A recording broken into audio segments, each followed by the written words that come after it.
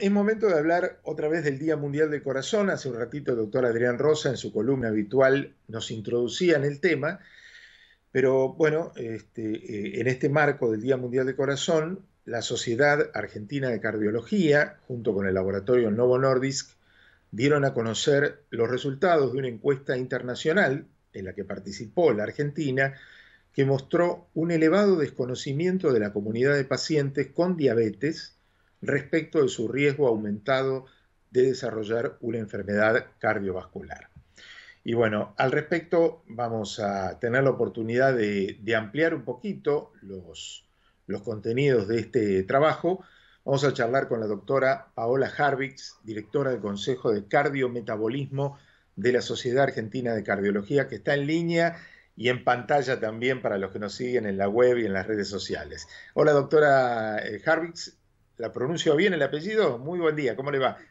Buen día, sí, es Harwix, perfecto. Harwix, perfecto. Bueno, aquí estamos eh, en Ecomedios conectados y como para enterarnos un poquito más de este trabajo eh, que apunta a las personas diabéticas y sus riesgos cardiovasculares en este día tan especial de sensibilidad sobre el tema del corazón.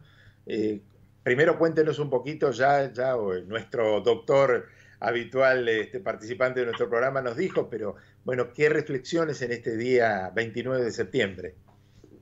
Bien, creo que es cuando uno eh, trabaja en estos días del Mundial del Corazón, lo que hacemos es tratar de concientizar a la población acerca de los riesgos que tiene la enfermedad cardiovascular y todo lo que podemos hacer para prevenirla.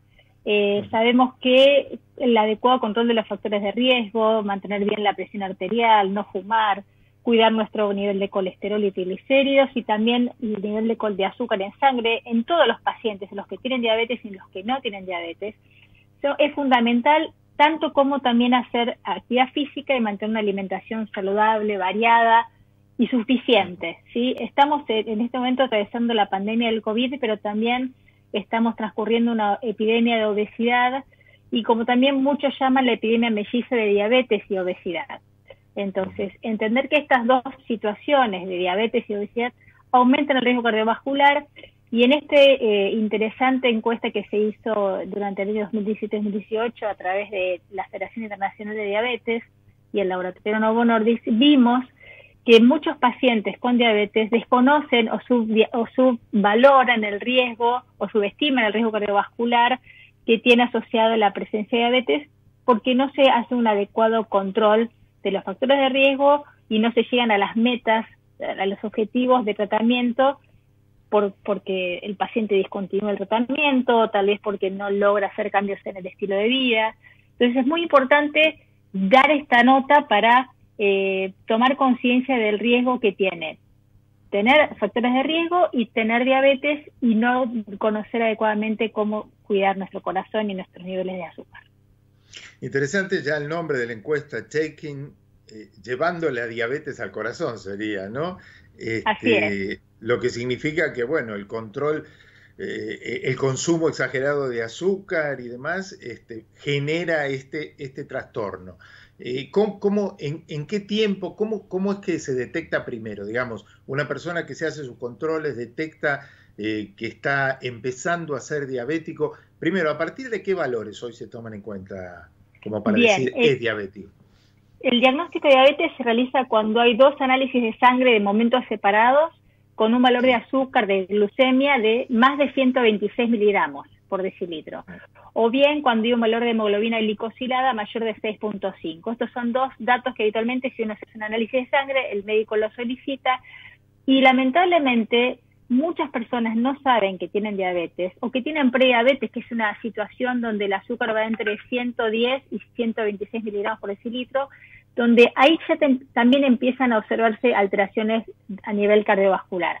Pero volviendo al punto, el diagnóstico se hace con análisis de sangre, no da síntomas la diabetes, sí da complicaciones a largo plazo. Por eso que la detección del, con el análisis de sangre es tan, tan importante.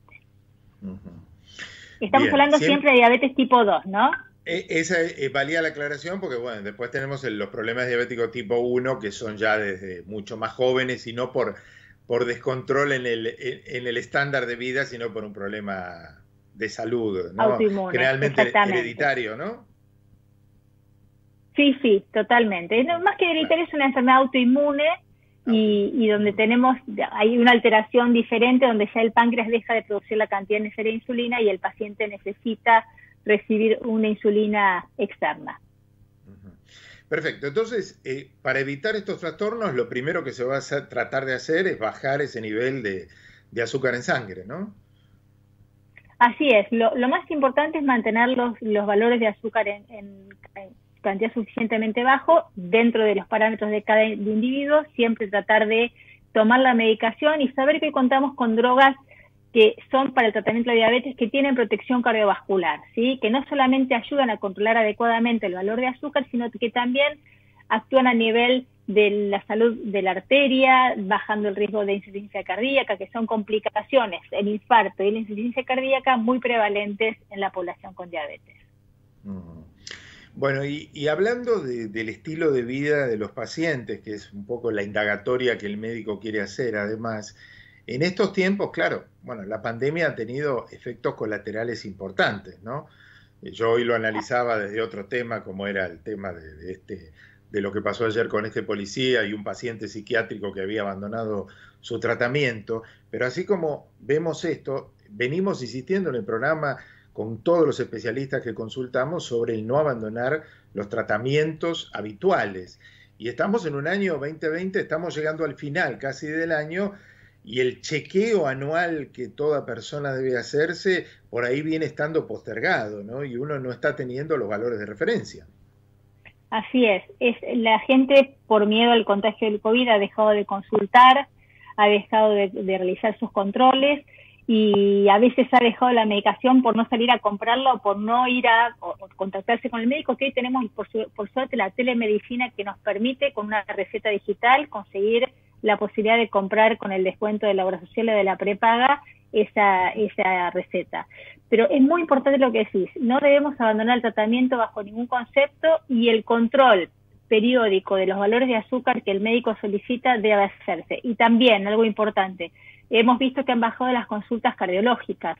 ¿sí? Los pacientes dejan de consultar más allá de tener síntomas de dolor de pecho, falta de aire, palpitaciones, desmayos. Todos esos son digamos, signos y síntomas muy importantes que tenemos que prestar atención porque la enfermedad cardiovascular sigue siendo la, causa más importante de muerte cardiovascular y el postergar o dilatar el momento de la consulta es contraproducente porque el músculo del, del corazón, así como el cerebro, sufren a medida que pasa el tiempo si uno no consulta a tiempo.